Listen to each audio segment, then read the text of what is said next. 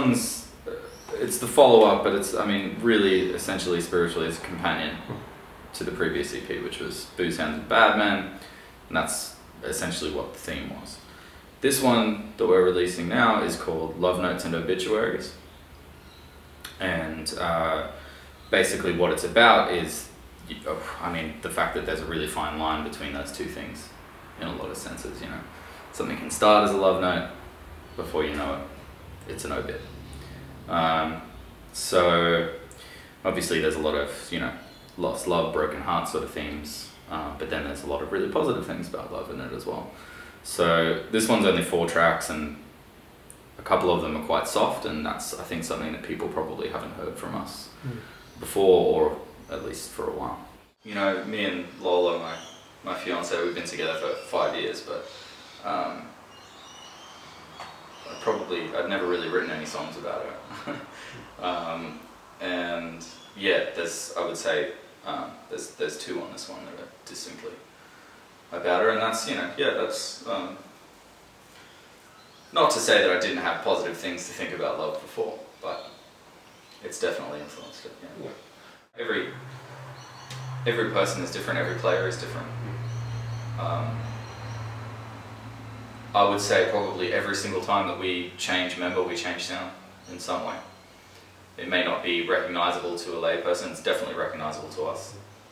Um, you know, that'll be a, a, noticeable difference between the, the two EPs that we've just done. You know, our guitar player that played lead on the last EP, he moved to Vietnam shortly after recording it. Um, so he didn't even get to see the release. Um.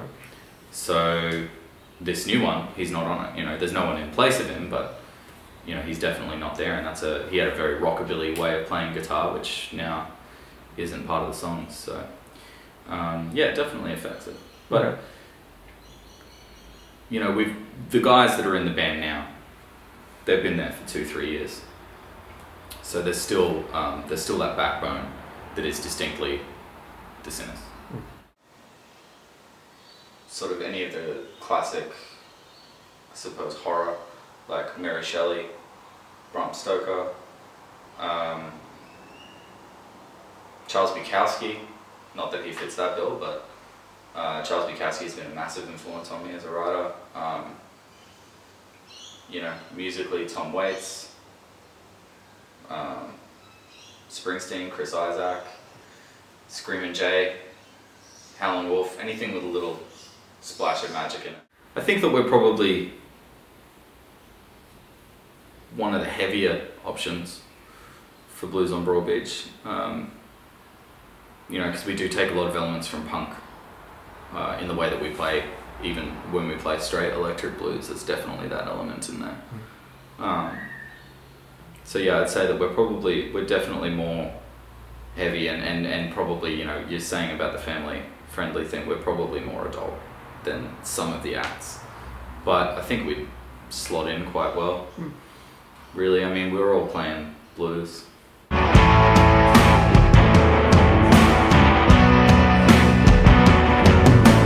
Walking down the hall in the dead of night, going to my mama's room, I'm gonna pick a fight.